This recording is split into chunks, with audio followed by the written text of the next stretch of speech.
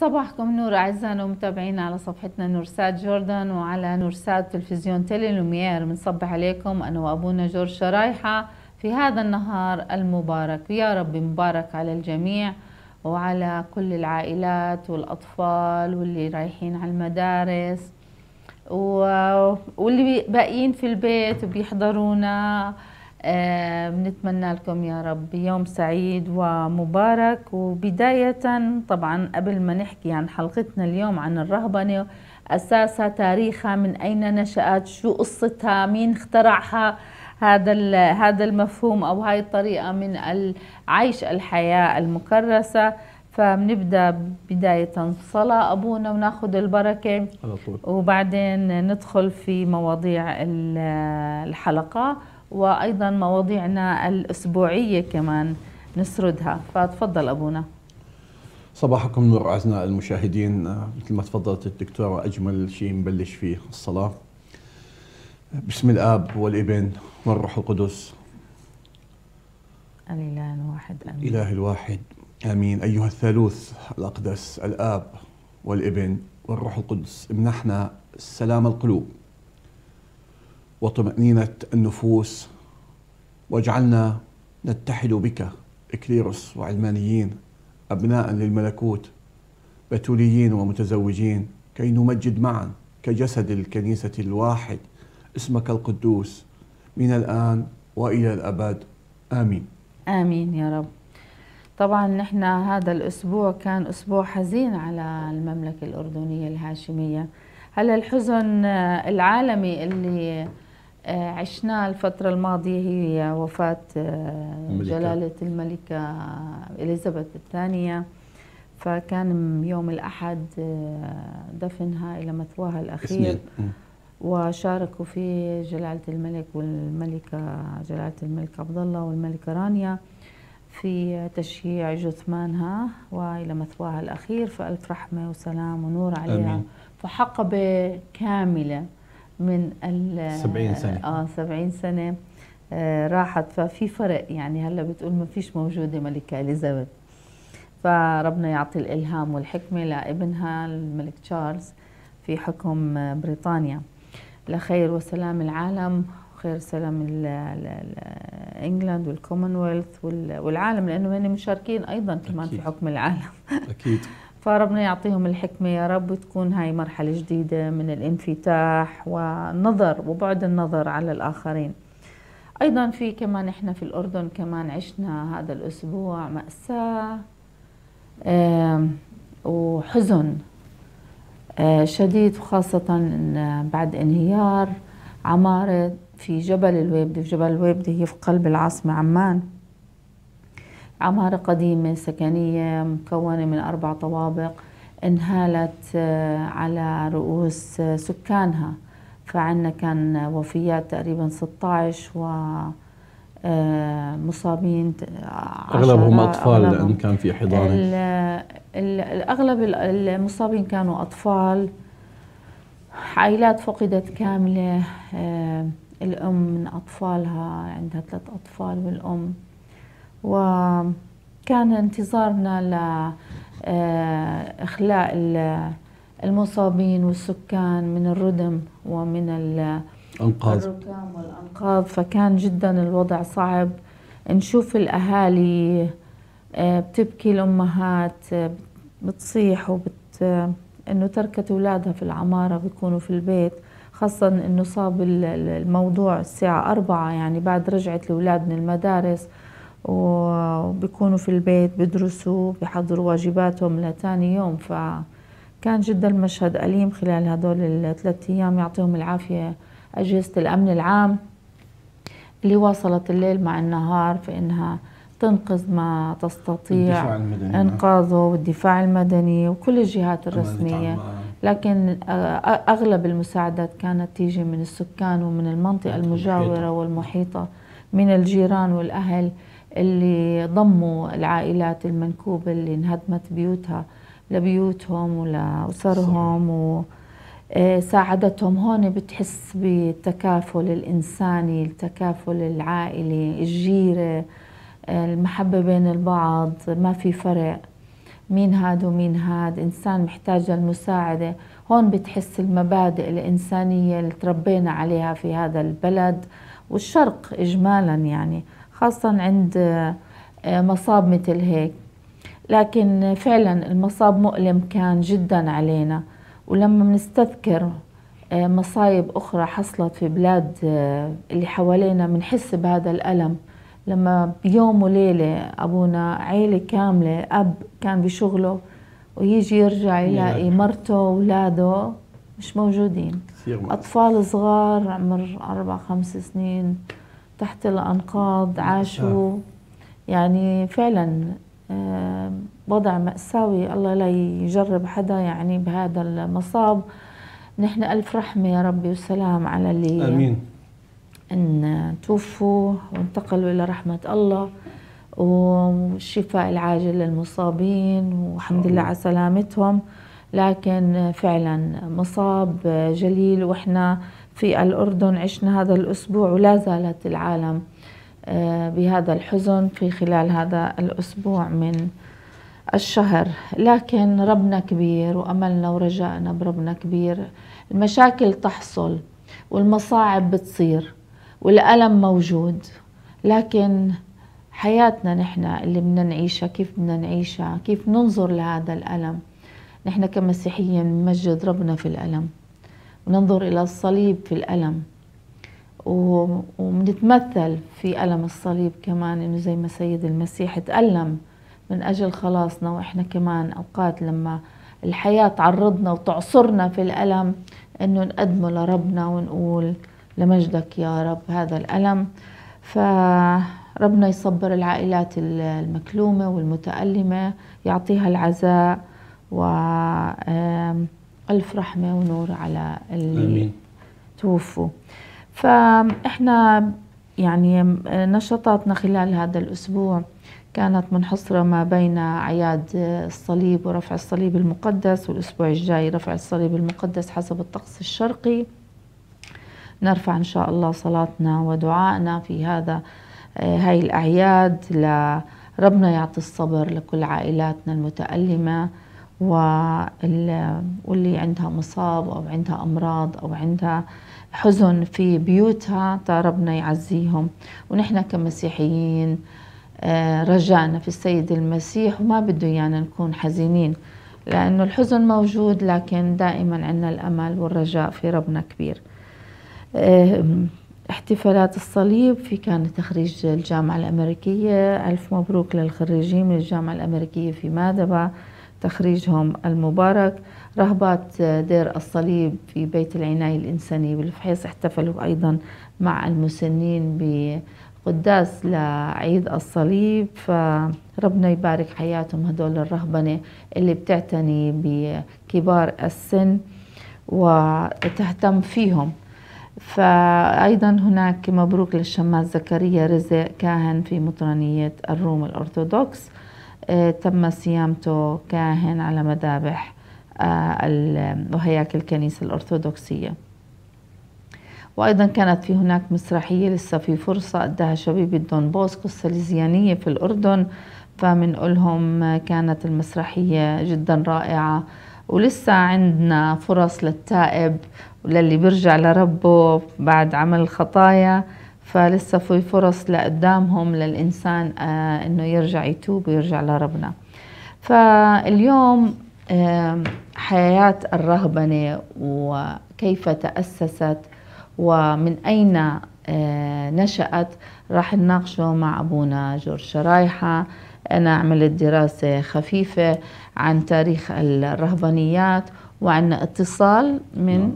الأخت مريان واكيم من الراهبات الباسيليات المخلصيات من لبنان من لبنان إن شاء نعم. الله وإذا في حدا بحب يتصل ويشاركنا في نعم. حلقتنا نعم. بهذا العنوان الرهبانية في حياة الرهبنة في المسيحية أهلا وسهلا فيه على رقم تليفون 06 أرضي 5833 773 فصباحكم نور وأبونا تعطينا مقدمة عن هالموضوع نعم. أو الحياة الرهبانية. صراحة خلف الكواليس من اللي سمعته من حضرتك يعني ما شاء الله محضرة منيحة. يعني عندك معلومات كثير تاريخية. عكسي أنا صراحة أنا بحبش التاريخ كثير بالكنيسة. يعني تاريخ الكنيسة الاضطهاد والصعوبات وأخذناه مواد على أجزاء كبيرة. كان مطلوب منا نحفظ كثير بالجامعة. فكنت أتضايق من الموضوع الحفظ لأنه إحنا لاهوت وفلسفة بدنا نفهم أكثر من ما بدنا نحفظ. نعم. فموضوع حلقتنا أعزائي المشاهدين اليوم الرهبنه بين التاريخ والرسالة. آه، هلا التاريخ بنتناقش أنا وحضرتك؟ يعني ما, ما شاء الله محضرة منيح معلومات. نعم. يعني هي مش بدعة. ما عندكم. الله يحفظك دكتور يخلي لنا إياكي ما شاء الله عليك آه الرهبانية ليست اولا نقول ليست بدعة مسيحية. نعم. وليست اختراع اكتشف أتى به المسيحيين. آه، فكرة الرهبنة بمعنى النسك لأجل الله الخلوة الروحية الابتعاد عن العالم السكون. آه، هاي العناصر الرئيسية الفقر العفة هاي العناصر كلياتها. آه، مثل ما حضرتك حكينا قبل الهواء إنه هاي انوجدت بكل الجماعات البشرية بكل الديانات قبل المسيحية. نعم. كان عندهم هاي الفكرة ولكن طبعا كل بفلسفته وكل بقانونه وكل بطريقته.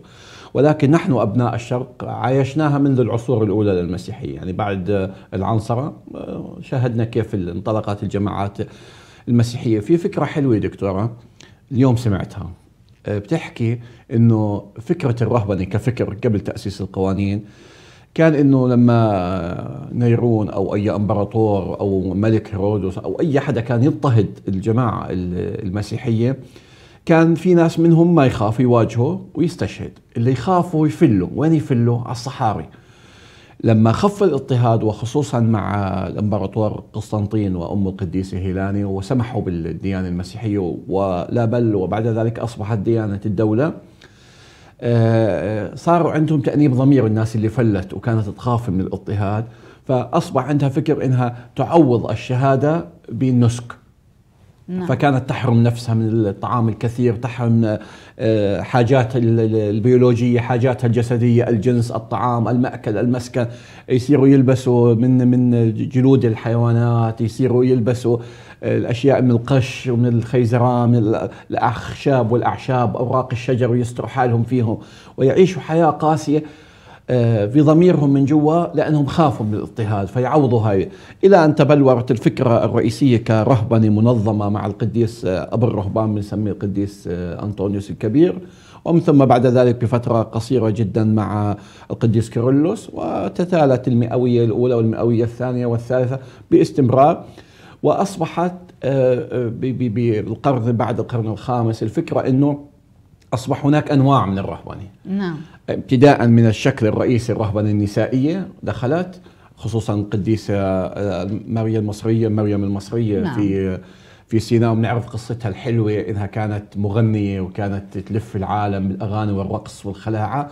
ولما إجت تعمل حفلة بالقدس دخلت على مدينة القدس وأرادت أن تزور كنيسة القيامة. ولكن ملاك حارس منعها من الدخول وأصبحت تبكي وفي حالة من التوتر الشديد. لا تستطيع الدخول إلى الكنيسة. فحصت ضميرها اجى كاهن آه، طلبت منه الاعتراف وتابت. وبعد ذلك تركت الفن وأتت إلى صحراء سيناء وأسست أول الرهبانيات النسائية، اذا بشكل عام عندنا الرهبنة آه، الرجالية إذا جاز التعبير والرهبنة الرهبنة عفوا النسائية.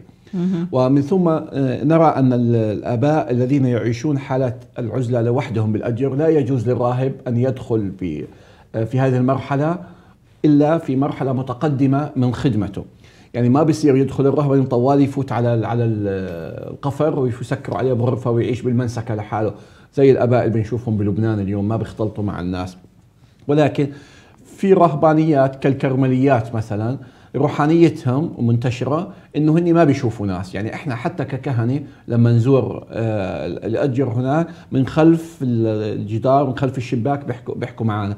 عايشين حياة الخلوة مع الله. وإحنا حكينا إنه هاي الخلوة لا تتم إلا من خلال عدة مراحل وصولا آه، لمرحله العزلة واللقاء الحي مع الله تعالى. نعم.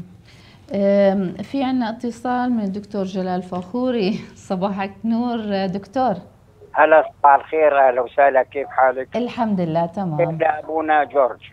صباحك نور يا دكتورنا آه، أنا الحقيقة ما بدي اليوم أطيل ولكن أنا بسأل سؤالين فقط تفضل دكتور وعلى الباقي يعني الكهني إنه الاجابه عليه نعم. ما هي فلسفة الرهبنة إذا لم تكن إذا لم تكن الرهبنة هي سر من أسرار الإرادة الإلهية في الحلول في الإنسان. نعم. نعم. أي أن الله حينما يحل في الإنسان يبعث روحه القدوس إلى هذا الشخص أو ذاك أو أو هذه الست أو كذا لي- ليصبح الك لأن الكهنوت وال- والرهبنة هي إرادة إلهية ونداء إلهي وطلب إلهي مش على كيفه الإنسان ي- إنه بده يصير خوري أو بده يصير راهب مثلا نعم نعم لأنه في دعوة إلهية. اثنين السؤال الثاني إنه عندما تصبح الإنسان من الروحانية وترك ال- وترك الجسد وأهواء الجسد ورغبات الجسد والحياة المادية على الأرض آه، عندما يصل إلى الروحانية يصبح ناسك نعم والفرق بين التنسك والرهبنة هي أن الرهبنة يستطيع. تستطيع الراهبه أو الراهب أن يعيش مع مجموعة. من البشر نعم. في حين إنه يعني تتكيف مع المجتمع في حين إنه الراهبة أو ال... أو ال... أو ال... أو الناسك لا يستطيع ان أن يجاري الناس لأنه يجب أن يكون في. خلو تام مع الله. نعم. كلام أن سليم. لا أن لا أن لا يعاشر البشر وألا بتمثل مثلهم. نعم. إذا إذا خلينا نفرق إحنا بين الرهبنة وبين النسك. النسك قلت لك هو حالة انفرادية لا نعم. يستطيع أن يجاري فيها البشر في حين في حين أن الرهبنة تستطيع أن تتماشى مع المجتمع و- وتبشر بما أراده ال- المسيح. هي إذا إذا في الحالتين هي إرادة إلهية وروحانية لا يستطيع أي إنسان أن يسلك. نعم. نعم حلو. برافو. 100% دكتور. حلو دكتور شكرا لك لهالمداخلة وهالتفسير ال- المفارقة ما بين النسك والحياة الرهبانية. شكرا دكتور. شكرا لك. يعطيك العافية. شكرا لك. صحيح دكتور. نعم. يعني كلام الدكتور منطقي 100% بالشق الأولاني بالحديث عن الحلول للروح القدس أو دعوة الله تعالى للراهب أو سواء كان ناسكا أو راهبا أو حتى كاهن رعيه هي في الحقيقة تعود لدعوه يسوع للتلاميذ الأولين. آه، مين اللي دعا التلاميذ ال 12 يسوع. مين دعا بطرس أو توما؟ أنا بوقف دائما عند آه، بطرس وتوما ويهوذا. نعم. يسوع اللي دعاهم. نعم. طب يهوذا خانوا بطرس انكروا توما شك فيه. وقصد يسوع ذلك ليظهر لنا آه، أشكال تلبية نداء الدعوة الإلهية. يعني آه، يسوع بدعي 5000 كاهن بابرشيه معينه طب ال 5000 هذول كلهم بلبوا الدعوة حتى لو أخذوا سر الكهنوت ومشوا بالحياة. بس بنشوف آه، كاهن زي ابونا توما في معين مثلا آه، عنده روحانية بزاوية معينة مواهب اللي بيحكي عنهم قديس بولس الجسد الواحد لا تقل العين للايد ولا لا. نعم. ففي ناس بوعظ منيح حلوة آه، كاهن روحاني بتروح بملاك بالدير تاعه الروحانية بس بالتفسير الإنجيل بتلاقي كاهن هناك ثاني متخصص بشغلة. وكأن أراد يسوع بهذا التنوع أن يكون غنى بنفس الوقت للك- للكنيسة. فما تفضل به الدكتور كلام سليم 100% يجب أن يكون في دعوة إلهية ولا بالتالي الكل كان اصبحوا آه، اصبحوا رهبان. نعم. وهنا في أيضا آه، جواب على الت- التبتل هنا من آه، القديس بولس ومن متى 19 يسوع لما قبل ما يحكي عن الزواج قال لهم إنه في ناس دعوا حالهم للبتولية وفي ناس دعوا حتى بكتبوها بالترجمة اليونانية الحرفية بالعربي شوية بت يعني مش مش مش دقيقة هناك من خصوا أنفسهم لأجل الملكوت وهناك بيميز بين. لأنه إنه في ناس اذا كلام يسوع هذا بيأكد إنه بوقت يسوع زي ما تفضلتي حضرتك وحكيتي عن الفريسيين إنهم آه، والكتبة بلا- والعشرين انه نعم، كمان كان- كانوا في بعض يعني صنف منهم أو قسم منهم يعيش هاي ال- نعم. مشان هيك حكى يسوع لو ما شو جاب السيرة يعني؟ ليش يسوع يحكي؟ لو ما انطرح الموضوع على طاولة البحث موضوع نعم. ال- ال- ال- النسك والرهبنة. نعم, نعم نعم نعم. آه، طبعا إحنا بنشكر كل الأشخاص اللي عم بيتابعونا على صفحتنا على نورسات واللي عم بيكتبوا صباحات مباركة لأم عادل النمري صباحك نور و سوري ماجد البير أشكر الرهبات والرهبان. لخدمتهم هم البوصلة لتوجيه المؤمنين إلى طريق الخلاص والرب يباركهم. وإيمان بهجة الشراح يسعد صباحكم. ونهيل الصفدي خوري صباحكم نور. بأنوار المسيح إبراهيم حمام صباحكم نور. وبسمة دعيبة صباحكم نور. الرب يبارك حياتكم وحياتك يا أخت بسمة. ومها إيبة في صباحك نور. وجميل غان وماري بدر وأسد برقان وأحلام الشرايحة وثائر عياش وكل الأشخاص اللي بيتابعونا على تلفزيون نورسات بنصبح عليكم. وبنتمنى لكم يا رب نهار مبارك وإن شاء الله هاي الحلقة إنها تكون مفيدة للأشخاص اللي سألونا عن حياة الرهبنة والرهبانية والتنسك وتاريخها ومن أين انطلقت نعم. وإيش أهدافها دكتورة في بدل مقاطعة بحديث بس تعطيني فرصة فضل. مش هلا يعني متى من نعم الوقت بس أجيب على سؤال الدكتور جلال الشق الثاني في عندنا اتصال نعم. ثاني شباب في الراهبة يمكن بعده ما جهزوا تمام. يلا تفضل. آه، في الشق الثاني اللي تفضل فيه الدكتور إنه نعم. من يعيش النسك من يعيش النسك اللي هو يستطيع أن آه، يعمل هال setting الضبط للحاجات نعم. وال وال وال, وال ما ما ما الشيء البيولوجي وما بين الشيء البسيكولوجي بين النفس التوازن النفسي. لأنه هاي شغلة مش سهلة. يعني في في حاجات بيولوجية. يعني في ناس بتحتاج للماء والهواء والمأكل والمشرب والها فهاي بهرم الأولويات بالعالم كله. هاي آه، أولويات حاجات أساسية مش كماليات. يعني مش نعم. أشياء رفاهية. أن يتخلوا عن هذه الحاجات الأساسية في حياتهم طمعا بلقاء مع الله بدون شوائب. نعم. لقاء مع الله صافي زلال. زلال صافي آه، آه، بدون ما ينغصوا أشياء اللي لأنه في بحالات هي بعلم النفس يعني بحالات الشبع الإنسان بيصير يفكر باللي بعدها. نعم. كل ما إنسان بالطبيعه الفيزيائية للمنطق الطبيعي على الأرض كل ما امتلأت الحفرة ماء بدها تفيض وتطلع نعم. الحفرة اللي بجنبها.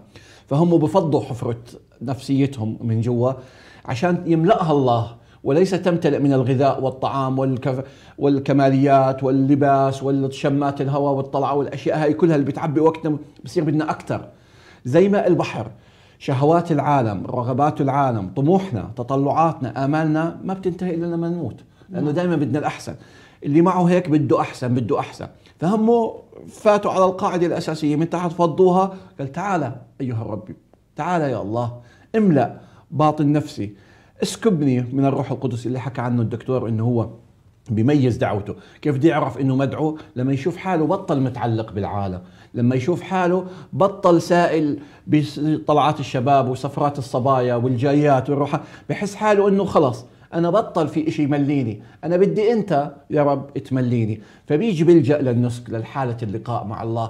وهي بدها مراحل متطورة. صح النسك وحياة الرهبنة اللي هي حياة التكريس كمان حياته من ضمن العيش من ضمن جماعة. وهذا بيختلف عن الحياة الكهنوتية. بدهم الناس والمشاهدين والمؤمنين يفصلوا ما بين الكهنوت وما بين حياة الرهبنة والنسك والتوحد.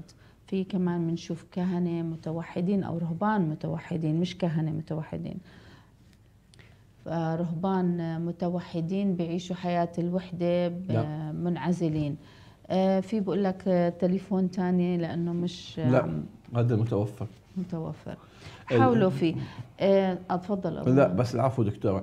السؤال إنه ليش بس ناس معينين بين مليارات البشر ليش المدعوين للرهبنة ولا نعم. أول شغلة وحقيقة صادمة يمكن إنها تطلع من كاهن إني أحكيها على الهواء لأنها ضد الطبيعة البشرية. التبتل ضد يعني كل منطقيا ضد نعم. التقشف باللباس وإن نلبس جلود الحيوانات ضد الطبيعة البشرية لذلك هذا الإنسان الذي يريد بنعمة الله التي انسكبت فيه أن يكون متميزا عن الباقي. وبالتالي بدون دعوة عميقة وبدون استجابة يعني ربنا بسابق علمه بيشوف في هالشخص زي ما حكينا عن التلاميذ. وبدعوه بس مش شرط ينجح. مش كل كهنة العالم استمروا بكهنوته ولا كل الراهبات ضلوا راهبات لأنها بداية نكون منطقيين وصريحين. هي ضد الطبيعة. الإنسان يحتاج إلى الجنس يحتاج إلى الملبس المأكل اللي حكينا عنهم أولويات. فبالتالي تخص ناس معينين مدعوين. لذلك نعم. مش كل العالم زهدوا بهذا الشيء نعم. بالرغم. يعني كانوا الرهبان يتعرضوا لهذه الاختبارات الحاجات اللي أنت بتحكيها أبونا. فكانوا يتجاوبوا فيها بجلد الذات بالنوم على المسامير لما يكونوا في عندهم مثلا رغبات بس مش هذا الحل. يعني كانوا يحاولوا انه آه كانوا كانوا يعتبروا إنه الجسد هو العدو. وهذا مأخوذ من آه من ديانات. الديانات ما قبل المسيح وما قبل يعني العهد بالعهد القديم لما كان يكرس الإنسان نفسه من مثل جوتما بوذا و كانوا يعيشوا هذا نعم. نعم كانوا يعيشوا هذا هي الحياة الزاهدة يعني كان بوذا آه، يشوف إنه الإنسان آه، جسده عدوه وإنه هو اللي الجسد هذا هو اللي بيعرض هذا الروح لإنها تعمل الخطيئة. فكانوا يعتبروا هذا الشيء عشان هيك كانت حياتهم ملأ بالمتاعب بتسبب الرغبة خصوصا ما يتعلق منها بطول البقاء. ليس من خلاص من متاعب الحياة إلا بواسطة قتل الرغبة في النفس. هذه كانت من تعاليم بوذا. ونجد معظمهم يشغلون وقتهم مطروحين على فراش من المسامير. ويتعهدون برفع الذراع إلى أعلى والصمت ويكتب الأستاذ الألماني هيلدفيلد أن الرهبنة المسيحية أخذت عنهم لاتباع بعض هذا المنهج. نعم. فهذا من من القديم ماخذينه الحديث. دكتور آه بصير بيت شعر أعجبني اليوم وصلني بمسج من صديق بعض قصيدة بعض من قصيدة لشاعر ايليا أبو ماضي. نعم. فموضوعنا حسيت عن الموضوع اللي سأل عنه الدكتور جلال قبل قليل. بيحكي هو عبء على الحياة ثقيل. من يظن الحياة عبئا ثقيل نعم. هو عبء ثقيل عليه اللي بيعتقد أنه الحياة, الحياة عبء ثقيل, ثقيل. نعم. والذي نفسه بغير جمال لا يرى في الوجود شيئا جميلا حلو. يعني وكأنها هي الميزان اللي جوا بيعمله للواحد هو اللي بي بيخليه طاقاته يقدر يتحكم فيها أو يكبتها بداخله أو يعني زمان كانوا قلنا بالألم وهيك اليوم بالرهبانيات والنسك ما بيقبلوا جلد الذات وما بيقبلوا بدهم يخضعوا الجسد والروح لعملية توازن نعم. لا نفس الروح تطغى على على الجسد بيموت بعدين ظل بلا, بلا أكل وبلا شرب وبلا بده يموت نعم. مش هاي حكمة الله بحياة النسك لذا هي حياة إن نخفف حملنا عشان ندخل من الباب الضيق اللي هو من يدخل من دخول جمل من ثقب الإبر اللي هي البوابة ثقب الإبر اسمها البوابة تبعت المدينة المقدسة. المكان يجوا الجمال بعد غياب الشمس. بده يدخل من ثقب الإبر لازم ينخي الجمل لأنه ما بفوت الباب الضيق. ويشيل من أحماله تيقدر يفوت. وإحنا نعم. هيك نفس الشيء. يعني مو شرط اليوم نسك 24 ساعة بس إحنا ككهنة مثلا ومكرسين وكمان العلمانيين بيعملوا رياضات روحية. بمراكز مختصة اليوم بعمان زي المركز اليسوعي بيعملوا قبل الأعياد للعلمانيين. بيعملوا الرياضة الروحية صامتة نعم. ممنوع الحكي فيها. لما بده يحكي معك بيعطيك نص مكتوب. بالطبيعة وبالهاي بتسمع صوت الله. لماذا؟ لأن الله لا يتكلم في الضجيج. نعم. الله يتكلم في السكينة نعم. هلأ إحنا بالنسبة لموضوع الحياة الرهبانية يعني إذا بدنا نحكي تاريخ ونقول من أين نشأت؟ طبعا هي الحياة الانعزالية. طبعا كانت من بداية الإنسان. الإنسان بطبيعته لما بده يختلي بحاله يفكر بأمور حياته بفكر بروحانيات أو بفكر قبل ما يعرف آه، ربنا وقبل ما يعرف الديانات اللي نشأت آه، كان يختلي بحاله ويطلع على الجبل يمشي بين الطبيعة يقعد لوحده. هي طبيعته الإنسانية اللي هو لما بيحتاج أو بتعب أو مثلا يحتاج يفكر بموضوع معين كان يعزل نفسه يذهب للطبيعة يمشي يتسلق جبال يراقب الطبيعة. فهذه فكرة التزهد أو فكرة الانعزالية. يعزل حاله عن الحياة الصاخبة من متاعب الحياة يطلع يوم يومين ثلاث على البراري ويعاود يرجع يكون مثلا صفى ذهنه وصفى نفسه وصفى فكره وقراراته. من هون هاي طبيعة بشرية. يعني موجودة موضوع الرهبنة أو موجود الفكر نعم أو المبدأ تبع الرهبنة أو التنسك أو بدنا نتأخر على sister مريان. صباحك نور sister. صباح النور. كيف حالك؟ يا مساء كيفكم؟ يا أهلا. الحمد لله. أنت كيفك؟ نشكر الله مشتاقين. الله يسعدك. sister نحن موضوعنا عن الحياة الرهبانية جذورها ومن أين تأسست؟ وأنتم كمان كرهبنة آه نعم. بدي يعني تعطينا هالروحانية. طبعا إحنا بنقول آه، الكهنوت يختلف عن الرهبنة والرهبنة آه. بيعيشوا فيها بالمجتمع بشكل جماعي. نعم. فتخبرينا عن رهبنتكم مسار. آه يعطيكم الألف عافية. أنا عن جد انبسطت إنه الموضوع عن الرهبانات لأنه يمكن هلأ بالوقت اللي نحن فيه قليل ما عم نشوف في كثير نعم. دعوات رهبانية. أكثر يمكن ككهنوتية عم بفوت بس رهبانية شوي خفت. نعم. بالنسبة للحياة الرهبانية آه هي حالة أو يعني طبيعة حياة بيعيشها الإنسان آه لأشخاص معينين ربنا بيدعيهم. هلأ بحكي شوي كيف الدعوة. نعم. آه ومثل ما تفضل أبونا جورج قبل شوي حكي عن التأثير الظرف التاريخي الاضطهادات يلي أدى لتأسيس رهبنة. ونحن رهبنتنا من هودي الرهبنات يلي تأسست بفترة اضطهاد بالشرق وقت اللي صار في قصص بالكنيسة بين شرق وغرب ومين بده يتبع روما ومين لما فوت كثير بهالقصص التاريخية.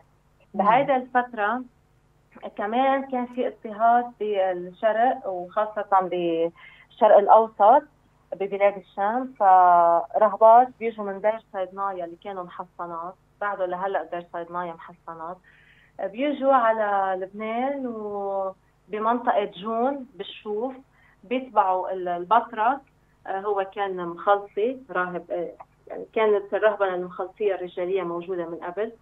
تقريبا حوالي سنة 1733 34 بهالفترة بلشت شوي. وشوي شوي آه، كانوا أول شيء محصنات بالدير ما في رسالة. وقت اللي تبلورت الأمور شوي مع الكنيسة الكاثوليكية وتظبط الوضع آه، مش رح فوت كثير بتاريخ الكنيسة لأنه نعم. ما بقى نخلص نعم صح آه. إيه فشوي شوي صار في قوانين صار في رهبنة صار في عدد يفوتوا كان محصنات هيدا اللي قبل شوي كيف كانوا الكرمل نعم. كان أغلب الرهبنات الشرقية اغلب أغلبيتها كانوا ديريات أو محصنات بالدير آه، آه، شغلهم كله بداخل الدير بس وقتها اللي بلشنا بعد المجمع الفاتيكاني الثاني وبلش شوي في الانطلاق لل...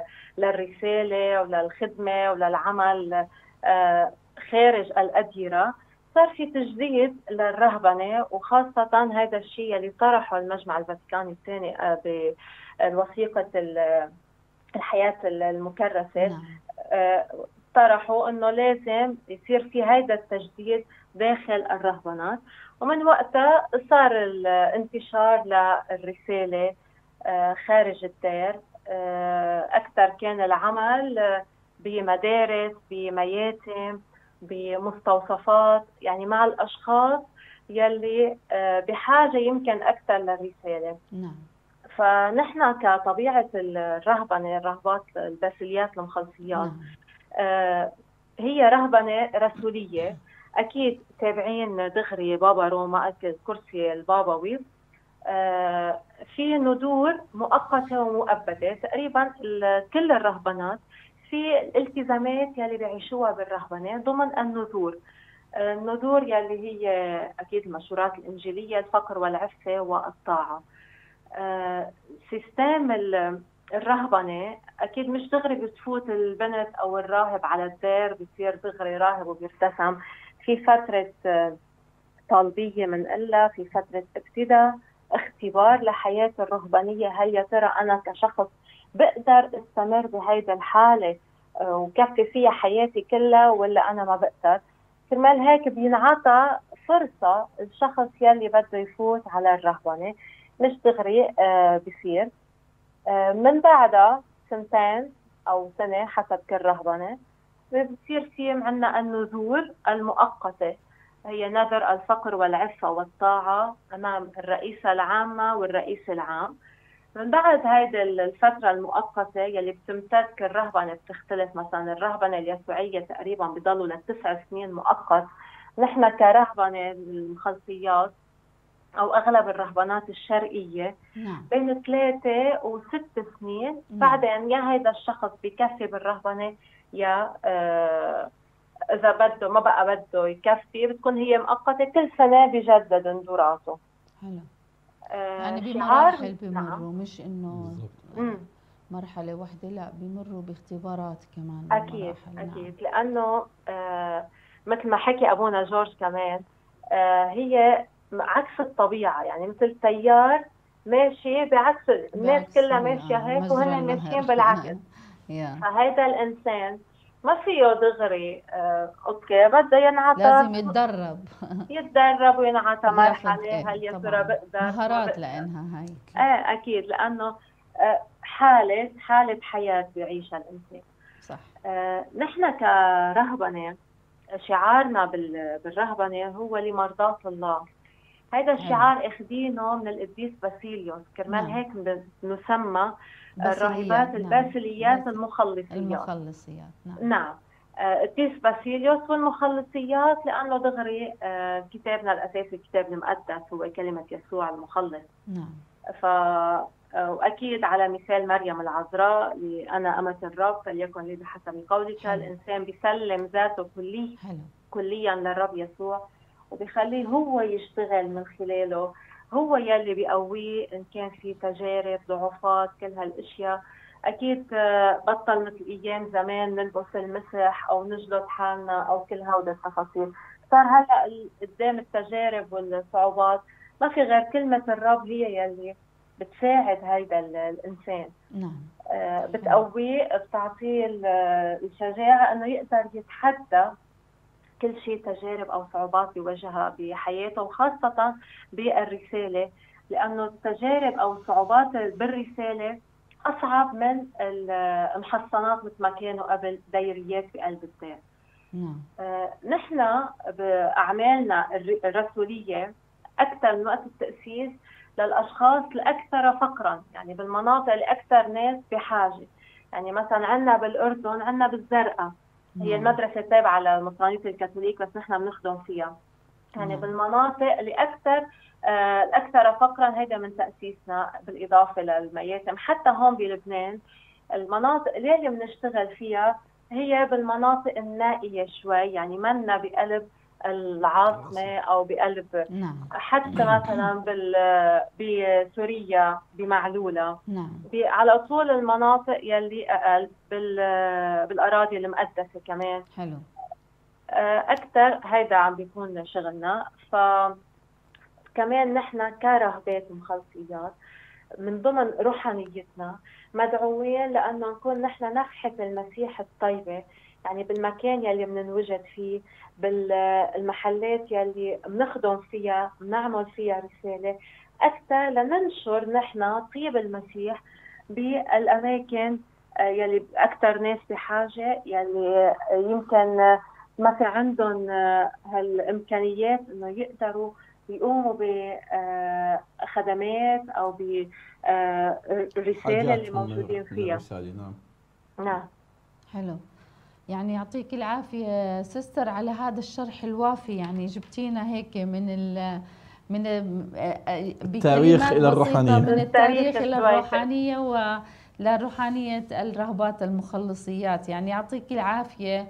ولما بتقولي تعملون لمرضاة الله وأيضا نعم. لخلاص النفوس وعملكم جدا رائع وأنتم كمان يعني قمت مثل ما قال قداسة البابا يوحنا الثالث والعشرون لما يكرس الإنسان نفسه للعمل يحقق عملا عظيما ولما يدعو الله يحقق عملا أعظم. وعندما يقرن الصلاة بالعمل يسمو ويتفوق أيضا. وعندما يلوذ بالصمت نبع التأمل في الحقائق الإلهية يضيف إلى الكمال الذي حققه إكليل المجد.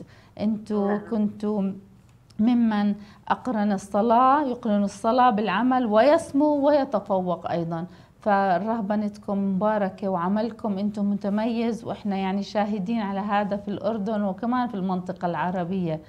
ربنا يبارك عملكم ويزيدكم يزيدكم أعضاء ويزيدكم آه، دعوات آه، مسير. أكيد بصلواتكم. آمين يا رب إن شاء الله يا رب. شكرا, لك مسير ولوجودك معنا في هذا الصباح ببرنامج صباحكم نور. شكرا لكم وإن شاء الله بنشوفكم بلبنان. merci merci يا ma sœur. شكرا أكيد إن شاء الله يا رب. مثل ما حكت لنا sœur مريم. sister مريم عن الرهبنة وهالروحانية. بالبداية أبونا بدنا نتفق على موضوع واحد إنه هي دعوة إلهية مدعو من الله إنه هذا الإنسان يخدمه لأنه ربنا بده ناس يخدموا بطريقة مختلفة عن باقي البشر اللي بتبعوا الطبيعة اللي خلقها ربنا في الإنسان ورغباته الإنسانية. لا تقدر تركز على مواضيع تانية روحية خدماتية تخدم فيها ربنا وتخدم فيها كنيسته بدك ناس متخصصين في هذا الشأن بالإضافة لجماعة المؤمنين اللي كمان آه، بثروا بوجودهم وحضورهم وإيمانهم وصلاتهم الكنيسة لأنه الكنيسة هي هالجماعة المؤمنة أكيد. لكن هدية الرهبانيات هي هدية للكنيسة لكن هو يعني الرهبانية مؤسسات لا تتجزأ عن الكنيسة كنيسة أكيد. السيد المسيح ففي آه، كانوا يسموهم بالزمانات المجاهدين وكانوا يسموهم لباس الصليب وكانوا يسموهم لباس الروح وأيضا كمان يعتبروهم من صنوف الملائكة ويعتبروا الرهبان من أقوى جنود المسيح. فكان هيك يوصف الرهبان. يعني بهذا الوصف الوصف ما يقولوا عنهم راهب قبل ما تبلش المؤسسة ويصير فيها نعم. نظام وقوانين وزي ما خبرتنا مسير. يعني الابتداء والنذور الابتداء وال في مراحل, المراحل قبل هذا الشيء كان الإنسان لما يكرس نفسه لخدمة الكنيسة كان يزهو عن هاي كل هالرغبات الدنيوية ويلبسوا الصليب فكانوا يسموهم لباس الصليب. نعم. قبل ما يقولوا عنهم خوري آه sorry قبل ما عنهم راهب أو راهبة أو, أو ناسك. أو frère. فكانوا أو لابسين الروح القدس يعني إنه إنه لباس الروح القدس. هلأ الحياة الانعزالية مثل ما حكيتي طبيعة الإنسان أحيانا عندما بده يفكر بأمور جدية بنعزل. فالحياة الانعزالية قبل الميلاد. عندنا كثير من الحضارة الرومانية والحضارة اليونانية. الآلهة اللي كانوا يعبدوها آه، العبادات الإلهية الرومانية واليونانية الشرقية. نمت هاي العبادات في الأديان الشرقية السرية للعالم نقلوها طبعا للعالم الغربي للحياة الإنسانية مثلا آه، نجد لدى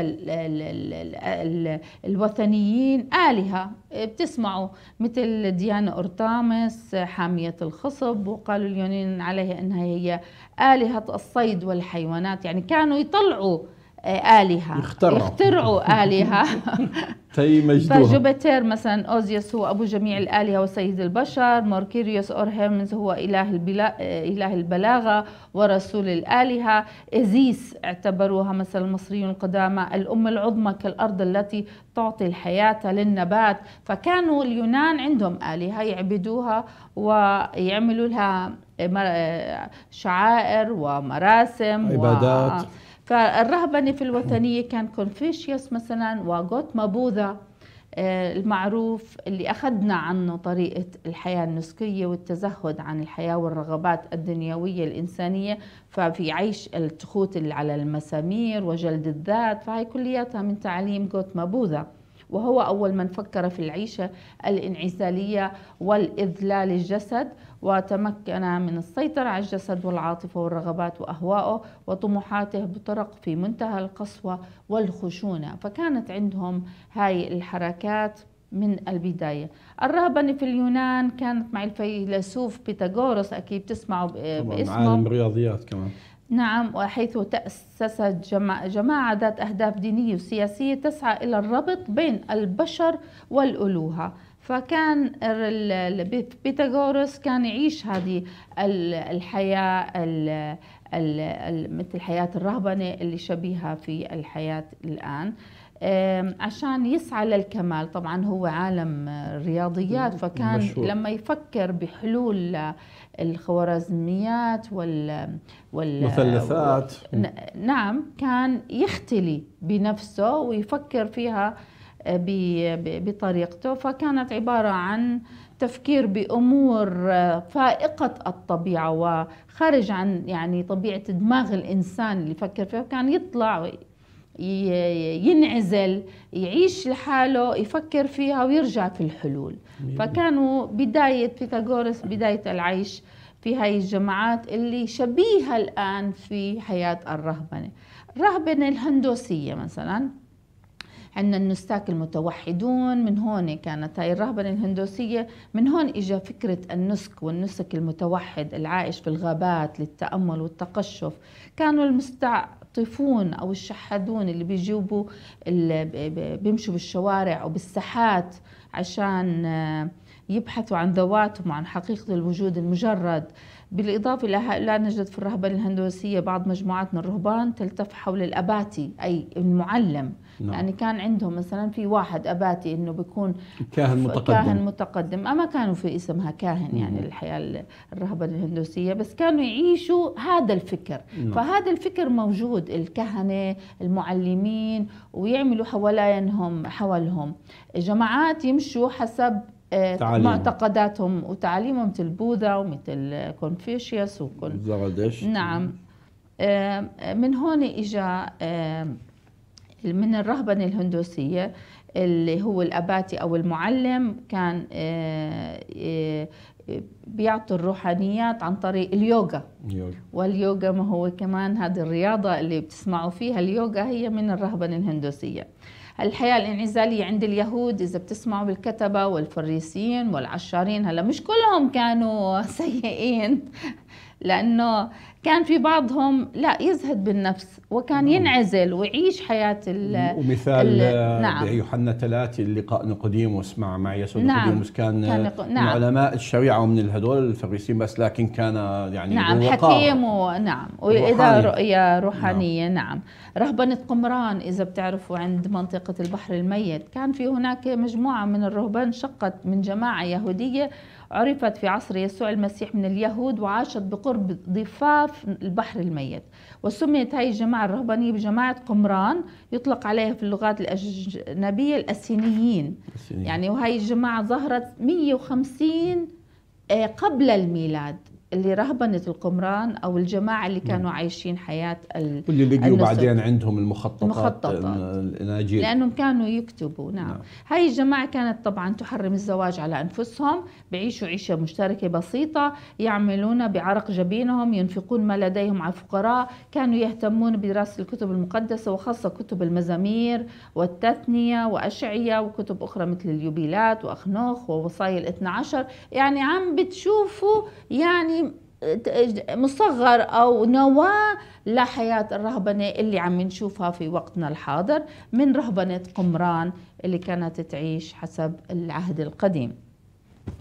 أيضا عندنا رهبنة الشفاء اللي ظهرت مجموعة كانت هي تشفي بطريقتها الروحانية بالصلوات ظهرت في الديار المصرية أكثرها ورهبنة يهودية هي. أخرى عاشت من القرب في من بحيرة بمريوط الإسكندرية. طبعا بيعرفوها آه، أخوتنا الرهبان أو الكهنة الأقباط بمصر كانوا بسموهم رهبنة الشفاء بصلواتهم وتأملاتهم وعاد كانوا يشفوا الأمراض و ف هلا الحياة الانعزالية من الجيل الأول لحتى الثالث الميلادي. بعد صعود يسوع المسيح من إلى السماوات قال لتلاميذه اذهبوا الآن وتلمذوا سائر الأمم. معمدين إياهم باسم الآب والابن والروح القدس. وما ميز هاي الفترة أنه التلاميذ والرسل والمؤمنين إنهم كانوا مرتبطين بشخص يسوع المسيح كان هو الاباتي أو المعلم, المعلم. يعني. نعم وكانوا هدول الجماعة حول الاباتي أو المعلم يسوع المسيح كانوا مرتبطين فيه بتتمحور حياتهم بالمسيح القائم من بين الأموات والحياة آه، آه، مع الإنجيل والرغبة في إتباع المسيح والاقتداء بأقواله وأعماله وهاي الحقبة بتنقسم إلى ثلاث أقسام يعني أنا بدي ألخصها العالم اللي مثلا الفريسيين اللي أرادوا مثل آه، منذ عزرا أن يعيدوا بناء الأمة على قيام الروحية وتمسكوا بالشريعة وممارسة أحكامها كانوا ينفصلون عن الخطيئة فكانوا حريصون حريصين قبل كل شيء على قداسة الله وعلى التأمل في شريعته وبفضل تقواهم العميقة وتضلعهم في الكتب المقدسة سيصبحون ضمير اليهودية. يعني كانوا هدول على وقت السيد المسيح كانوا موجودين اللي كان السيد المسيح يذكرهم الفريسيون. فكانوا أيضا هناك كتبة. كانوا متخصصين في الشريعة المساوية. كان بعضهم كهنة لكن معظمهم علمانيين وفريسيون.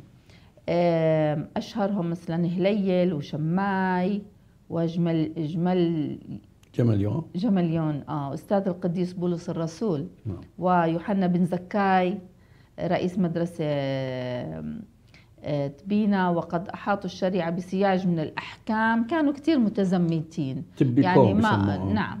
وأيضا كمان هناك الكتبة أيضا آه، زي ما حكينا. هلأ بلشت الكنيسة من وقت ما آه، سنة الثلاثين من يوم العنصرة. بنسميها الكنيسة الصغيرة زي ما حكينا التلاميذ وجماعة المؤمنة كانت ملتفة حول السيد المسيح اللي هو المعلم نعم. وكان معهم المريمات ومريم العذراء أكيد. يعني كانوا عايشين هاي الحياة الجماعية وكانوا يأكلوا ويشربوا مع بعض بعلية صهيون نعم ويشتغلوا حتى كمان ويصرفوا نعم. على حالهم وبلشت شوي شوي تكبر فمن هون بدأ إنه الحاجة إلى تنظيم والحاجة إلى وضع قوانين. أسس وقوانين. فبدأت الكنيسة في أورشليم في السنة 30 بيوم العنصرة واكتمل الجسد الرسولي للكنيسة بالاثني عشر رسولا. كانوا كلهم إخوة معا. يسرد لنا أعمال الرسل المؤمنون وهم مجتمعين معا في مكان واحد. بقلب واحد يجتمعون معهم بعض النسوة ومريم أم يسوع ويواظبون على الصلاة ويعيشون بطريقة منظمة. كانوا يجعلون كل شيء مشترك بينهم. هون أساس وبلشت تتبلور حياة الرهبنة والتوجه إلى مبدأ الرهبنة والنسك. طبعا ما في كان منهج معين ماشيين عليه. طبعا كانوا يعيشوا حسب يعني إلهاماتهم هيك على البركة وعلى البساطة وعلى التعليم. عشان هيك من نجد من النادر أن يستمر الإنسان في سلوكه الروحاني العالي ونجد كثير منهم قبل النسك عليه ارتجت حياتهم وارتدوا. يعني لأنه ما في نظام وعايشين على البركة فما كانوش يحسوا إنه في نظام يعني روتين أو شيء منظم أساس. نعم. فكان شيء مخلخل حواليهم. في كثير منهم تركوا.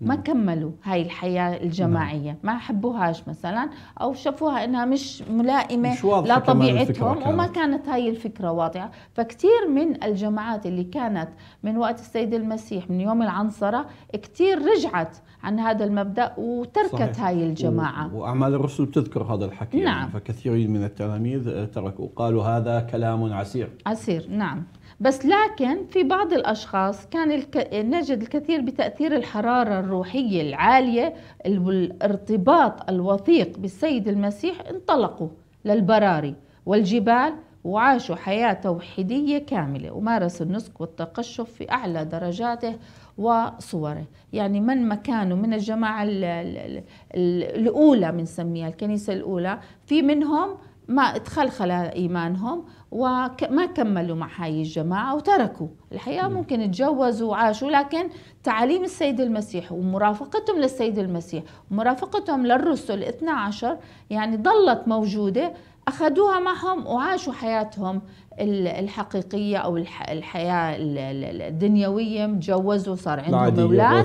لكن بضمن تعاليم المسيح السيد المسيح اللي تعلموها. لكن بعض الآخر كانت الروح عندهم حرارتها عالية فطلعوا على البراري تركوا عائلاتهم تركوا أهلهم تركوا كل الدنيا بما فيها من ملذات وعاشوا حياة الرهبنة أو التوحد التنسك مثل ما هذا المفهوم دارج هلا في حياتنا الحالية. هلا الحياة الرهبانية الديرية في فكر أباء الكنيسة. طبعا أبو الأباء اللي أنت حكيت عنه في عنا قديسين كتير طبعا هن اللي أسسوا الحياة الرهبانية في الأديرة. يعني جماعة يكون في عندهم نظام وعندهم كان قوانين. القديس إكليمونس الإسكندري النساك هم الجزء المختار من الناس المختارين. مثلا القديس هيبوليتوس 170 ل 235 ميلادي النساك محسوبون على كنيسة ضمن الطغمات السبعة. يعني هذول طبعا من نعم الملائكة. عندنا العلامة أوريغانوس الإسكندري القديس قبريانوس. أن العذارى لهن النصيب الأمجد في قطيع الكنيسة كان هناك كمان موضوع الروحانيات والحرارة الروحية عند بعض العذارى فكانوا يعني نوال تأسيس الرهبانيات. وعندنا القديس أثناسيوس الرسولي عندنا وثائق المجمع المسكون النقاوي الأول 325 لذكرة الراهبة والقديس الباسيليوس الكبير آه، سنة 379 وبعدين شمس الرئاسة أبو البركات بن كبر الرهبنة فلسفة الشريعة المسيحية بلشوا تتبلور فكرة الرهبنة والبابا يوحنا بولس يوحنا 23 اللي حكينا عندما يكرس الإنسان نفسه للعمل يحقق عملا عظيما وعندما يدعو الله يحقق عملا أعظم وعندما يقرن الصلاة بالعمل يسمو ويتفوق أيضا وعندما يلوذ بالصمت نبع التأمل في الحقائق الإلهية يضيف إلى الكمال الذي حققه إكليل المجد والفخار. والبابا بولس السادس أيضا كم هي عظيمة حياتكم؟ هي كم من نفوس تجذب وكم هي مجدية للكنيسة عندما تعيش استقامتها ونزاهتها وأمانتها بموجب التزامات نذوركم الرهبانية. تتلخص الحياة الرهبانية في لفظة نعم المتواصلة أمام المسيح الموجود بيننا.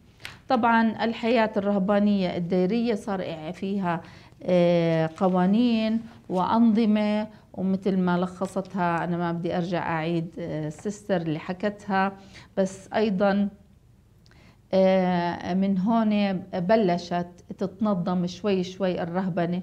والحياة الرهبانية اللي بنشوفها مش آه، وليدة أو انخلق هيك طلعت من دون أساس لا موجود إلها الأساس لكن بلشت فيها تنظيم.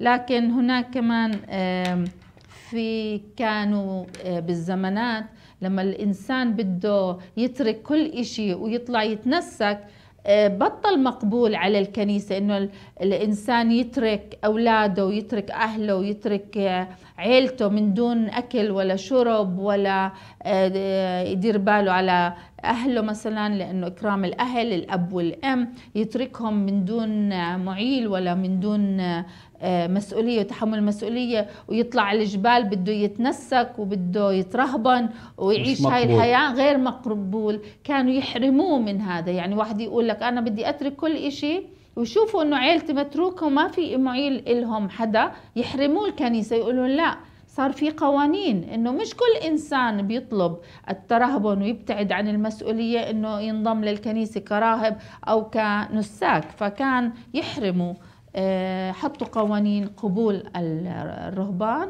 أو قبول النساك لا تداركنا الوقت سريعا. نعم تداركنا. فعندنا آه، ايليا النبي يوحنا المعمدان هدول من الأشخاص اللي تركوا وتنسكوا وترهبنوا في الجبال. نعم صحيح. يسوع كمان السيد المسيح ياما كان يخرج ويختلي في نفسه في الجبل فايضا كان يعيش هاي الحياة. عضو تعاليم السيد المسيح دعا القديس بولس الرسول الحفظ البتولية أيضا لما قال من أجل الملكوت وهو بنفسه كان مثالا يحتذى به في عيشها طبعا هاي كل هاي العناصر اللي كونت حياة النساك هي العزلة والنسك والتأمل. فالراهب بيختار هاي الطريقة لأسباب روحية تربطه بمعلمه ومخلصه يسوع المسيح. فإذا العاملان الأساسيان اللي خرجت منهما الحياة الرهبانية المسيحية مثل ما حكينا العامل الأول تكريم البتولية تكريسها في سبيل نشر الملكوت. هذا يفسر وجود عذارى بتولات وآرامل تقيات تكرسنا لخدمة كنيسة الله والقريب. علاوة إلى ذلك لبعض مظاهر التقشف والبتولية لدى رجال كرسوا ذواتهم للبشارة. والعامل الثاني هو عامل الاستشهاد الناجم عن الاضطهادات. اللي شنت مثلا الرومان بالزمانات على المسيحيين اللي بذلوا ذواتهم حتى الموت متمثلين بالمسيح على الصليب قد بذلوا ذاته في سبيل البشرية جمعاء. فالشهيد كان في تلك الحقبة من تاريخ الكنيسة على رأس لائحة القديسين والشاهد الأساسي عن مصداقية الإنجيل. يعني هذا ملخص للدراسة اللي عملناها على موضوع الرهبنة تاريخها وكيف نشأت وأصبحت الآن بهذا الشكل الموجود بين أيدينا نعم. فنيال نيال اللي ربنا بيدعوه لرهبنة أو لخدمة ربنا بأشكالها طبعا إحنا ما بنقول إنه الخدمات خدمة ربنا على أنواع منها المتزوج ومنها اللي بي اللي بي بينشئ حياة لأنه كمان هن المتزوجون اللي بينشئوا أو بيطلع منهم الناس الدعوات الدعوات فربنا يزيد الدعوات الرهبة بتقول كمان إنه قلت الحياة قلت الدعوات الرهبانية للأسف مؤخرا نعم. ما نعم. سمعت إيش حكى؟ لا بدنا الوقت خسر خلص تمام نعم. نعم. آه شباب يعني أنا بنشكر كل اللي كانوا معنا على صفحتنا وعلى تلفزيون نورسات وتلمير وبنشكر الطاقم بالأردن ولبنان وإن شاء الله أسبوع مبارك للجميع وأبونا تعطينا البركة وننطلق بسلام المسيح. نعمة ربنا يسوع المسيح ومحبة الله الآب وشركة الروح القدس معكم جميعا. اذهبوا بسلام المسيح. ومعكم أيضا آه، أعزائنا ومتابعينا وبنتمنى لكم نهار مبارك وصباحكم نور وإلى اللقاء في الأسبوع المقبل بنفس الوقت يوم الثلاثاء الساعة 9 صباحا. إلى اللقاء. أعجوبة ليلوليير مستمرة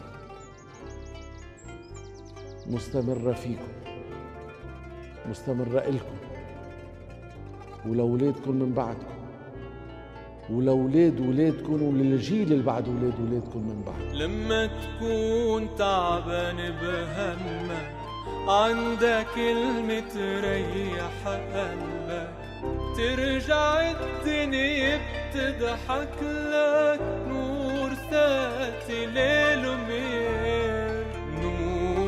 ساتي ليل نور ساتي ليل وميل نور ساترنم صلواتي ليل محبة